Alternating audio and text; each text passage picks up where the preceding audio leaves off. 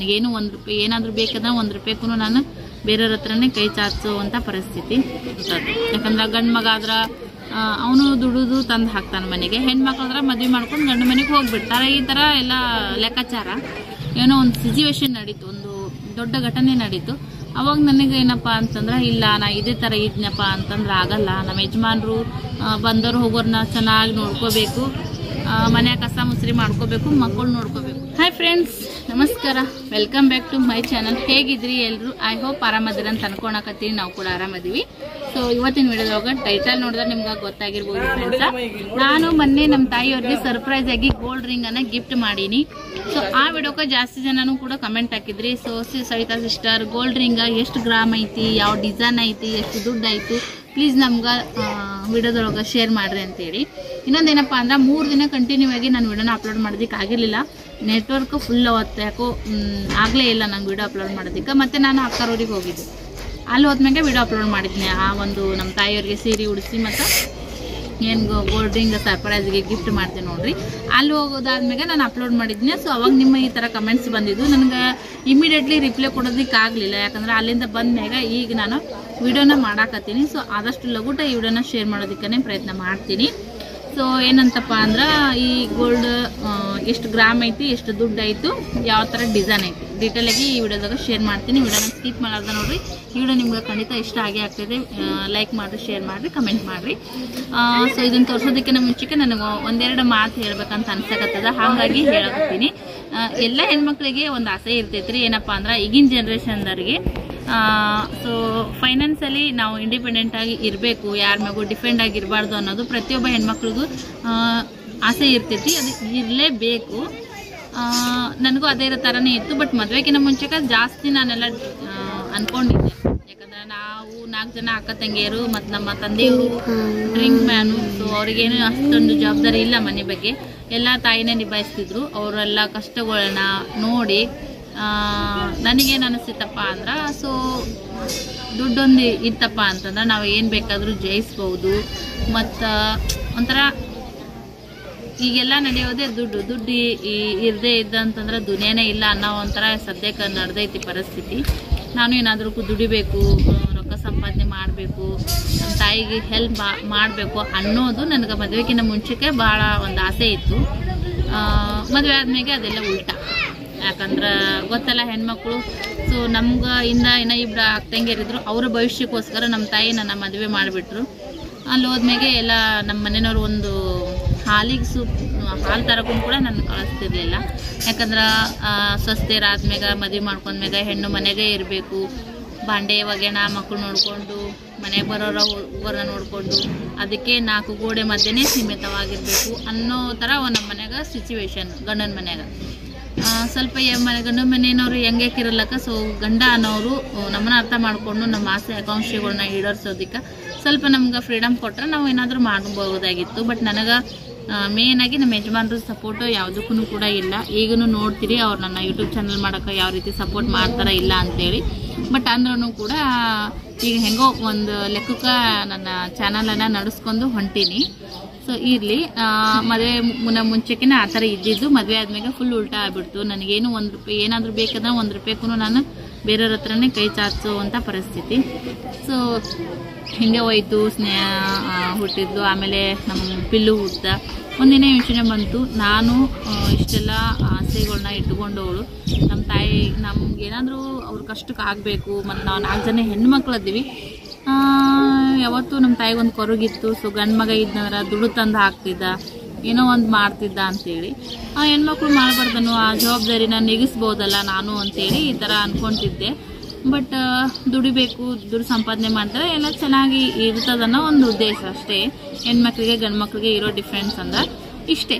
ನನಗೆ ಗೊತ್ತಿರುವಂಥದ್ದು ಯಾಕಂದ್ರೆ ಗಂಡು ಮಗ ಆದ್ರೆ ಅವನು ದುಡಿದು ತಂದು ಹಾಕ್ತಾನೆ ಮನೆಗೆ ಹೆಣ್ಮಕ್ಳಾದ್ರೆ ಮದುವೆ ಮಾಡ್ಕೊಂಡು ಗಂಡು ಮನೆಗೆ ಹೋಗ್ಬಿಡ್ತಾರೆ. ಈ ಥರ ಎಲ್ಲ ಲೆಕ್ಕಾಚಾರ.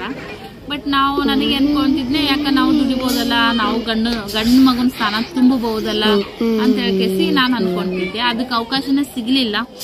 ಹಿಂಗೆ ಹೋಗ್ಬಿಡ್ತು, ವರ್ಷಗಳು ಉರುಳಿ ಹೋದವು, ಮದುವೆ ಆದ್ಮ್ಯಾಗ. ಒಂದಿನ ಫುಲ್ ಯಾಕೋ ಒಂಥರ ಏನೋ ಒಂದು ಸಿಚುವೇಶನ್ ನಡೀತು, ಒಂದು ದೊಡ್ಡ ಘಟನೆ ನಡೀತು.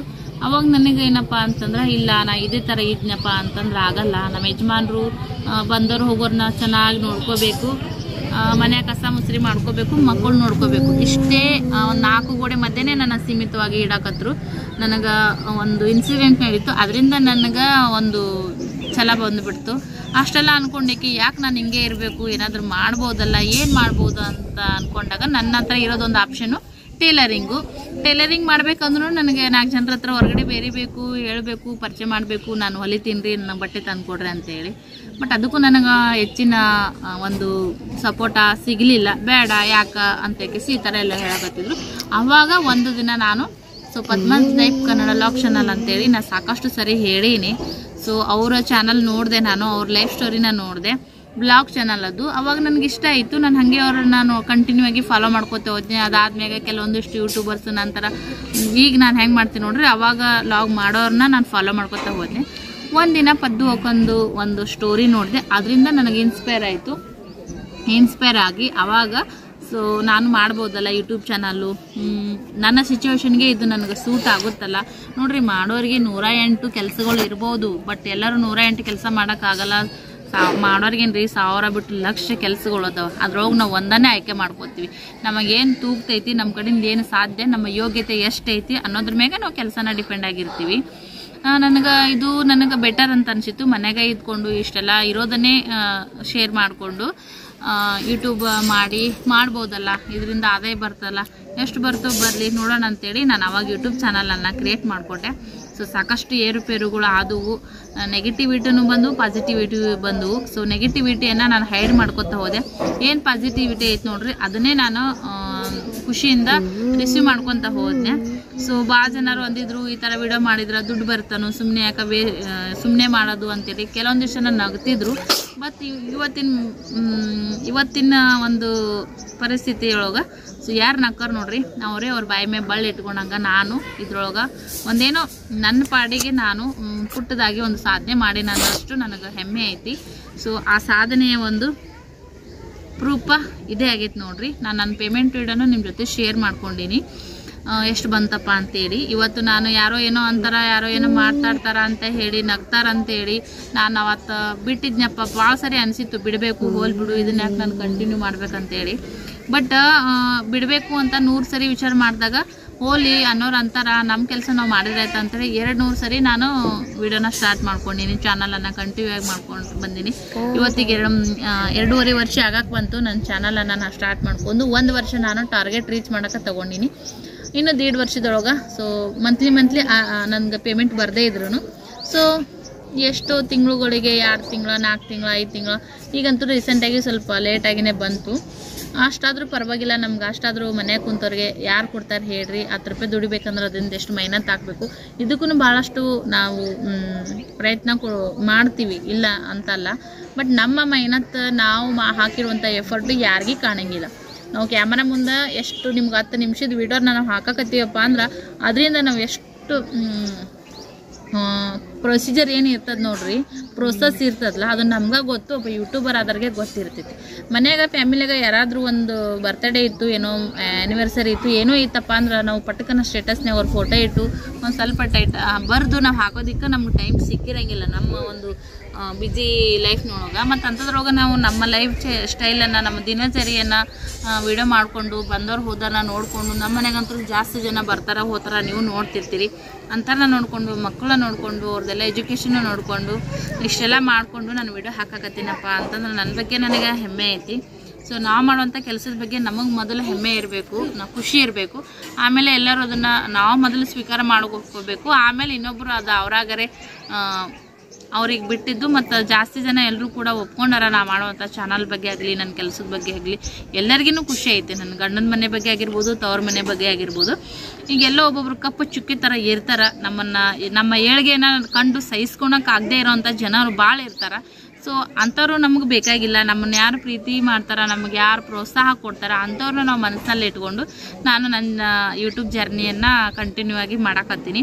ಇವತ್ತು ನನ್ನ ತಾಯಿಗೆ ನಾನು ಒಂದು ಪುಟ್ಟ ಕಾಣಿಕೆ ಇದು ಏನೂ ಅಲ್ಲ. ಬಟ್ ಆದ್ರೆ ನನ್ನ ಮಟ್ಟಕ್ಕೆ ಇದು ನನಗೆ ಒಂದು ದೊಡ್ಡ ಅಚೀವ್ಮೆಂಟು ಬಟ್ ಅಂದ್ರೂ ತಾಯಿ ಋಣ ಏನು ಮಾಡಿದ್ರು ತಿರ್ಸೋಕ್ಕಾಗಲ್ಲ ಅಂತ ಹೇಳ್ತಾರೆ. ಸೊ ನನಗೆ ಭಾಳ ದಿವಸದಿಂದ ಅನ್ಕೊಂತಿದ್ದೆ ಏನಾದರೂ ನಮ್ಮ ತಾಯಿಗೆ ಉಡುಗೊರೆ ಕೊಡಬೇಕು, ಏನಾದರೂ ಕೊಡ್ಬೇಕಂತೇಳಿ. ಸರಿಯಾದ ಸಿಚುವೇಶನ್ ಬಂದಿರಲಿಲ್ಲ, ಸರಿಯಾದ ಒಂದು ಟೈಮ್ ಬಂದಿರಲಿಲ್ಲ.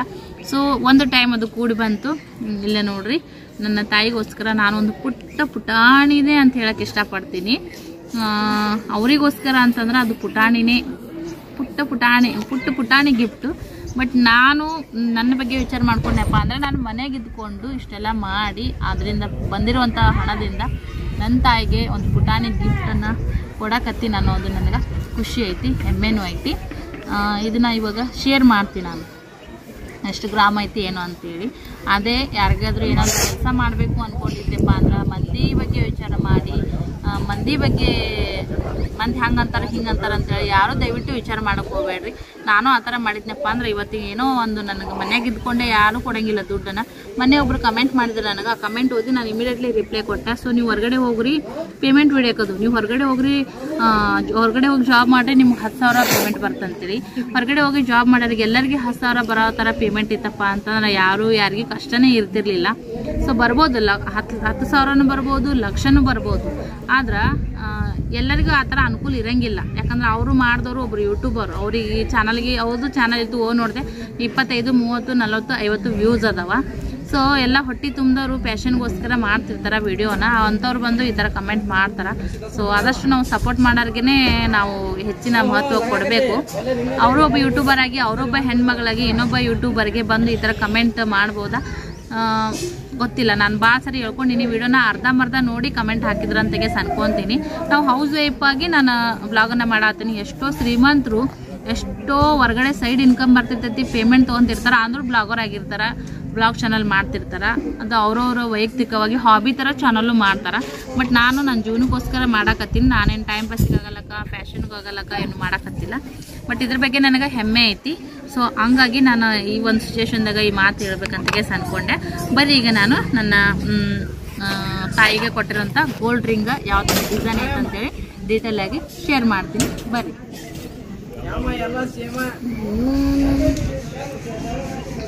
ಇದು ನೋಡ್ರಿ ಫ್ರೆಂಡ್ಸ ಈ ತರ ಡಿಸೈನ್ ಐತಿ. ಬಟ್ ಕೈಯಾಗ ಹಾಕೊಂಡ ಮ್ಯಾಗ ಭಾಳ ಅಂದ್ರೆ ಭಾಳ ಲುಕ್ ಕೊಡ್ತೈತಿ ನೋಡ್ರಿ ಇದು ರಿಂಗ. ಸೊ ಇದು ಸೊಲ್ಲಾಪುರದಾಗ ತೊಗೊಂಬಂದಿರುವಂಥದ್ದು ರಿಂಗ. ಮತ್ತು ನನಗೆ ಬಂದಿರೋ ಯೂಟ್ಯೂಬ್ ಪೇಮೆಂಟ ನನಗೆ ಬರ್ತದ ಯೂಟ್ಯೂಬ್ ಪೇಮೆಂಟ್ ಇಷ್ಟು ಬರ್ಬೋದು ಅನ್ನೋದು ಒಂದು ಅಂದಾಜು ಇತ್ತು.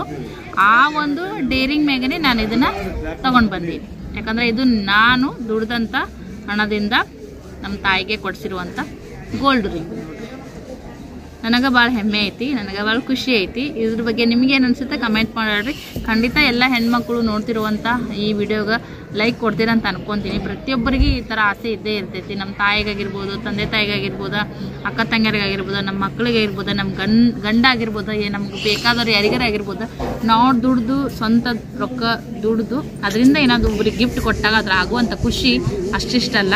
ಸೊ ಆ ಖುಷಿನ ಇವತ್ತು. ನೀವು ನನ್ನ ವಿಡಿಯೋದಾಗ ನೋಡಕತ್ತೀರಿ. ಭಾಳ ತೃಪ್ತಿ ಐತಿ ನನಗೆ, ಭಾಳ ಖುಷಿ ಐತಿ. ಸೊ ಬರತ್ನಾಗ ನಾನು ನಮ್ಮ ಮನೆಯವ್ರ ಕಡೆಯಿಂದ ಈ ಗೋಲ್ಡನ್ನು ಅವ್ರ ಅಂಗಡಿ ಜಾಬ್ ಮಾಡ್ತಾರಲ್ಲ, ಬಂಗಾರ ಅಂಗಡಿ ಕೆಲಸ ಮಾಡ್ತಾರೆ. ಸೊ ಇದ್ರ ಅಮೌಂಟ್ ಎಷ್ಟಾಗುತ್ತೋ ಅದನ್ನೆಲ್ಲನೂ ನಾ ಕೊಡ್ತೀನಿ. ನೀವು ಬಿಲ್ ತೊಗೊಂಡು ನನಗೆ ಈ ಈ ಥರ ಅವರು ಅಂಗಡಿಗೆ ಹೋಗಿ ಡಿಸೈನ್ ಕಳಿಸಿದ್ರು ನನಗೆ ಇಷ್ಟು ರೊಕ್ಕಕ್ಕೆ ಈ ಥರ ಕುಡ್ರಬೇಕಂತ ಹೇಳಿದೆ ನಾನು. ಯಾಕಂದ್ರೆ ನನಗೆ ಹೆವಿ ಅಮೌಂಟ್ ಅಂದ್ರೆ ನನ್ನ ಕಡೆಯಿಂದ ತೂಗಲ್ಲ. ನನಗೆ ಎಷ್ಟು ತೂಗುತ್ತೋ ಅಷ್ಟ್ರಾಗೆ ನಾನು ತೊಗೋಬೇಕಂತ ಅನ್ಕೊಂಡಿದ್ದೆ. ಸೊ ನನ್ನ ಆಸೆಗೂ ನಮ್ಮ ಯಜಮಾನರು, ಪರವಾಗಿಲ್ಲ ಕೊಡಿಸು ನಿನ್ನ ಖುಷಿನೇ ನನ್ನ ಖುಷಿ ಅಂತಂದರು. ಹಾಗಾಗಿ ನಾನು ಈ ಥರ ಗೋಲ್ಡ್ ಅವ್ರ ಡಿಸೈನ ವೇಟ ರೇಟ ಎಲ್ಲ ಕಳಿಸಿದ್ರು. ನನಗಿದು ತೂಗ್ತದಂತೇಳಿ ನಾನು ಇದನ್ನು ಆಯ್ಕೆ ಮಾಡಿಕೊಂಡೆ ನೋಡ್ರಿ.